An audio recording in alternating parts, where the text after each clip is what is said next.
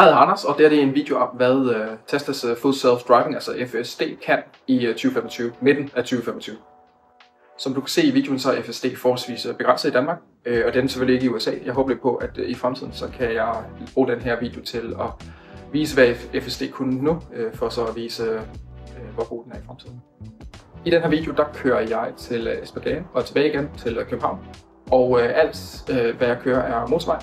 Og jeg gør, hvad jeg kan for ikke at overtage styringen, altså lade, lade systemet køre hele vejen. Min bil er en øh, Model 3 øh, fra 21, så den har det gamle hardware. Øh, så den har både øh, kamera, radar og øh, ultralydssensorer. Og øh, så vidt jeg ved, så er radaren i hvert fald slået fra, men jeg tror også, at ultralydssensoren er slået fra, når den kører. Så den kører virkelig kun med, øh, med kamera. Og det er så derfor, at det, det nye hardware er noget bedre, fordi øh, der har de fået nogle flere kameraer og noget bedre opløsning til at håndtere det. Og noget hurtigere hardware til at håndtere det. I den tid, jeg har haft bilen, der er den blevet markant bedre til at køre selv. I starten der var det øh, rimelig buggy, og nu er det virkelig ret øh, smooth. Det er så smooth, at uh, stort set alt uh, motorvejskørsel, nej det passer ikke, alt motorvejskørsel, jeg kører, kører jeg med FSD til.